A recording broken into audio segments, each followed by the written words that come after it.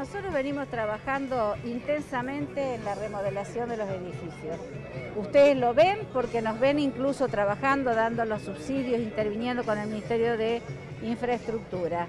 La verdad es que recibimos los, edificios escolares en un estado de abandono alarmante, sobre todo en esta región. No tan así en otras regiones, pero sí mucho acá y hemos intervenido mucho en esta región y lo vamos a seguir haciendo. En este momento estamos trabajando con la resolución definitiva de la actualización de todas las instalaciones de gas de la escuela. Según Litoral Gas ya lleva inspeccionada más del 95% de las escuelas y por lo cual las llevamos arregladas ya. Nos quedará ese 5% más y en este momento se está trabajando en simultáneo en todas esas escuelas. Tenemos como objetivo dejar actualizadas las instalaciones de gas de todos los establecimientos educativos. Les recuerdo que tenemos más de 3.200 edificios en el Ministerio de Educación. Pero además de eso seguimos con el tema de los arreglos, las reparaciones y también con las conexiones que hay que hacer con otras áreas que no son de la escuela. Hay conexiones que hacer con el municipio, hay conexiones que hacer con aguas, hay conexiones que hay que hacer con la EPE y ese trabajo se está haciendo sistemáticamente en forma continua.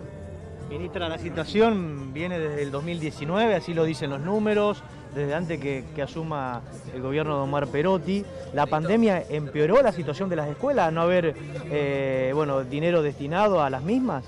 No, nosotros destinamos dinero desde, la misma cantidad desde, el, desde el 2020. Ni bien apareció la posibilidad de la obra pública, venimos insistentemente invirtiendo. Hemos tenido más de 2.000 intervenciones en edificios escolares con fondos provinciales. Ahora, si hay retraso en las inspecciones de otros entes que tienen que salir a pedir las actualizaciones, porque voy a referirme al gas, las escuelas están habilitadas con un código anterior. Lo que pasa es que han cambiado los códigos, entonces ahora hay que salir a actualizar eso. Claro que nos hubiera gustado poder avanzar un poco más durante la pandemia, pero las cosas son como son y las tomamos como son para trabajar. Bueno, nosotros este, primero la vamos eh, a citar a la ministra que vuelva a realizar su secundaria. Es que no es un clima tropical, como lo dice en la nota.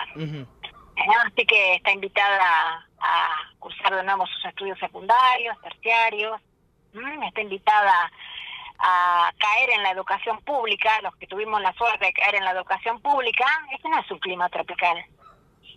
Cero grados en las escuelas en junio, ahora con los fríos que hace, los niños esto me hace recordar a un supervisor que ya se retiró hace tiempo, que de cuando peleábamos por el jardín 313 nos decía que se pongan tres pulóveres los chicos. Con ese cinismo nos contestaban, más allá del gobierno y el color que tengan, ¿no? Más allá que este gobierno realmente no le importe nada de la educación, no le importe nada. Eh, las declaraciones que tienen son repudiables, este no es un clima tropical, este, claramente se ve en la nota que, que hay daños químicos atrás, donde ella sale, bueno, aludiendo que, bueno, lo principal es la salud, el bienestar de los niños y los vínculos. Bueno, eso que se lo vaya a decir, este, o que venga ella a pasar los frío a la escuela, a comer, este, yo sé que estamos hablando del tema del gas, pero también es importante mezclar el frío con la comida, porque estamos recibiendo 20 pesos para copa de leche y, y 60 pesos para dar de comer, por lo que refiere, eh, ustedes vieron ahí que sin gas, eh, vieron el sándwich que se muestra con la fruta, estamos solventando. ¿Qué están solventando en una provincia donde tiene regalía de millones de exportaciones?